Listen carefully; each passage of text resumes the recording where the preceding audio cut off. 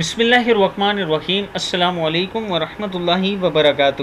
عابد راجہ channel کی طرف سے آج میں اپنے دوستوں کو رسول اللہ صلی اللہ علیہ وسلم کی ایک دعا بتاؤں گا کہ آپ صلی اللہ علیہ وسلم کو جب کوئی مشکل پیش آتی تو آپ صلی اللہ علیہ وسلم کون سی دعا پڑھتے تھے؟ وہ دعا آپ دوست بھی یاد کر لیں اور ضرور ان کو پڑھا کریں۔ تو شروع کرتے ہیں۔ بسم اللہ الرحمن الرحیم۔ رسول اللہ صلی اللہ علیہ وسلم کو جب کوئی مشکل کام درپیش ہوتا تو آپ صلی اللہ علیہ وسلم یہ دعا مانگتے، یا حیو یا قیوم برحمتی کا استغیثو کیا ہے؟ یا حیو یا قیوم برحمتی کا استغیثو اے زندہ، اے قائم رکھنے والے، میں تیری رحمت کے ذریعے مدد مانگتا ہوں۔ اس دعا کو آپ دوست یاد کر لیں۔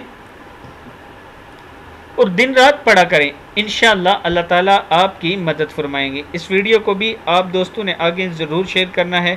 السلام علیکم ورحمۃ اللہ وبرکاتہ۔